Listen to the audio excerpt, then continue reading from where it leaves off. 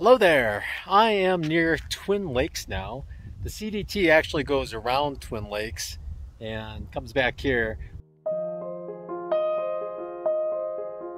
But there's a ton of dispersed camping up here.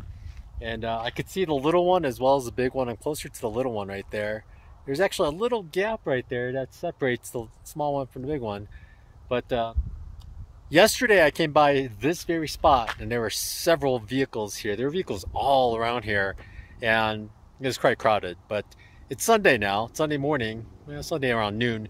So everybody left and it's awesome. It's quiet, nobody else is here except some four-wheelers and then, and then me.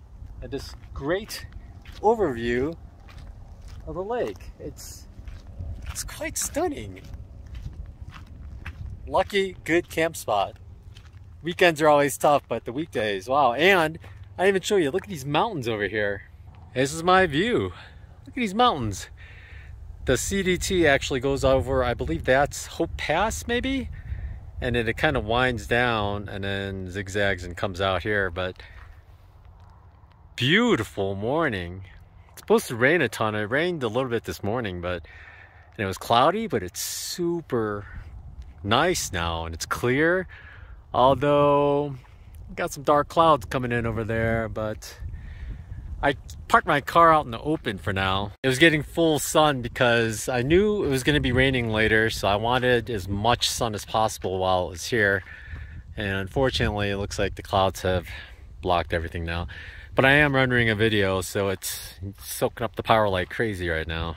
Yesterday when I was here, a camper was there and a maybe three vehicles are over there as well as a big old camper. And down the road there's more.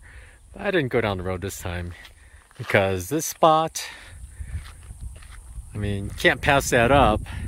I'm hogging this huge spot by myself. I mean it's definitely a big spot. It's all mine.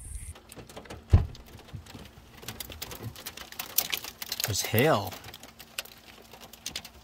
You see it? There's hail popping up over you got a chunk right there. Nothing. Haven't gotten hailed on in quite a while. But this is my view out the window. Um, normally I'd see snow-covered mountains. I guess not snow-covered mountains. Mountains with some patches of snow on it, but um, had to keep the door closed because it's raining now. A little bit of hail, but maybe it's over now.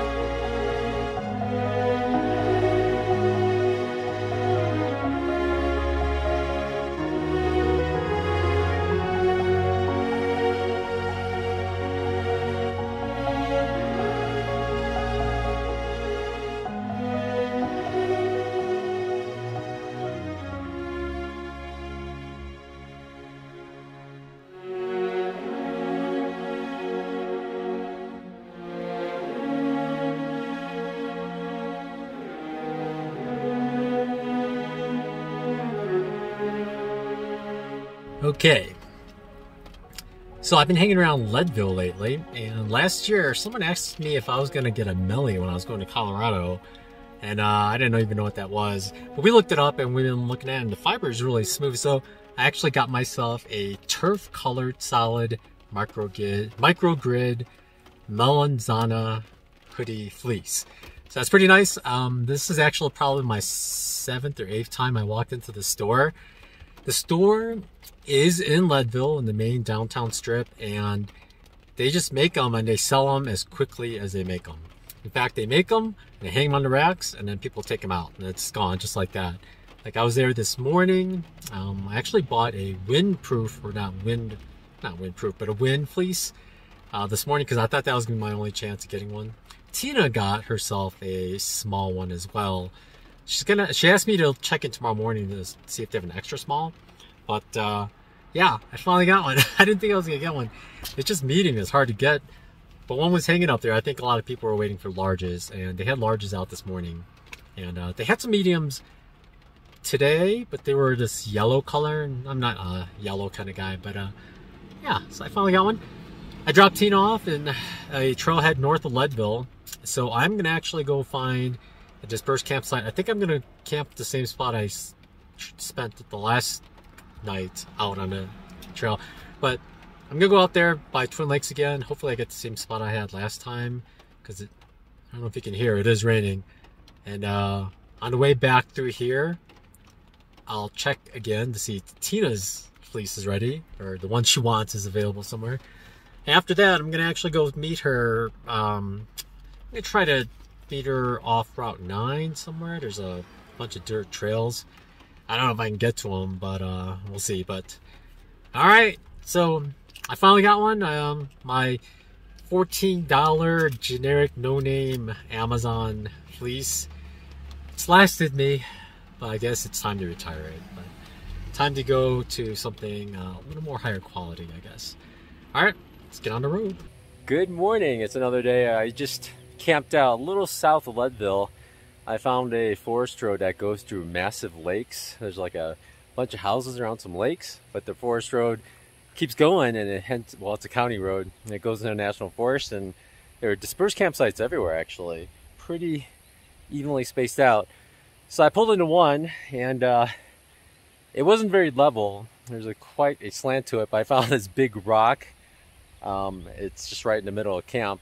So i just drove up onto it and it actually leveled out the car well enough that was comfortable but Today, it's time to head back into Leadville. I'm going to check the Melanzana store to see if something Tina wants is there.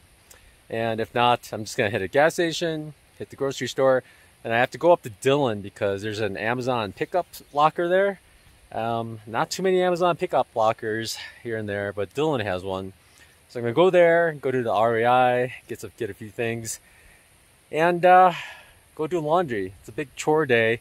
And later today, I'm to meet up with Tina. So let's start off our day here. Here's the campsite. We're right by a creek, but there are a ton of bushes in there. You got to walk through quite a bit before you get to the creek. The creek's running pretty well, and you can hear it all night. Yeah, during the early and late parts of the day, there are short trees so you can get some shade. But once the sun gets higher, there's there's really no shade. So, and and this site, I don't know, just gets a lot of sun. So Oh yeah, these these are two rocks, quite big. I'm pretty sure if I drove over it, I'd be in trouble. But there's a great gap there, so no problem. So tonight, when I meet up with Tina, the plan is I'm gonna just drive up a couple forest road and see if I can intercept the CDT and meet up with her there. I'm just uh, gonna hand off some food, really. Um, there was a long stretch, uh, so I thought I would just break it up and give her some more food after 35 miles or so, just so she could break that up so she doesn't have to carry so many in the beginning. Yeah, it's Wednesday now, and she's planning to climb over Grays Peak on Saturday.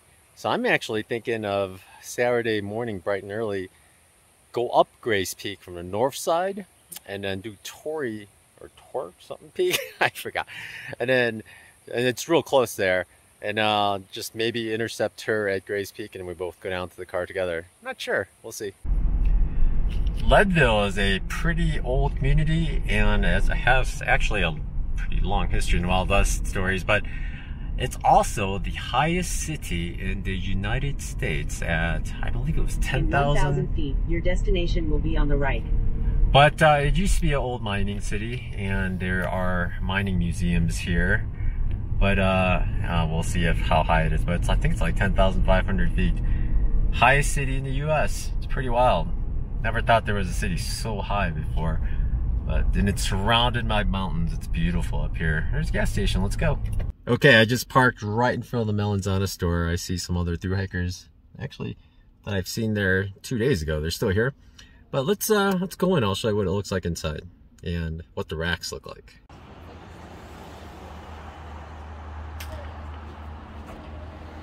So here's a rack for the men's microgrid.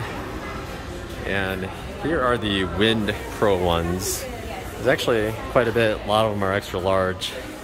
There's a medium. And these are microgrid hoodie 2s, I guess. They're the same except they're newer colors. $5 more. I guess they're a little warmer, I don't know. Empty. Side of the women's and mediums. It's all this blue. Nobody likes this blue. There's always been all this blue. Nothing.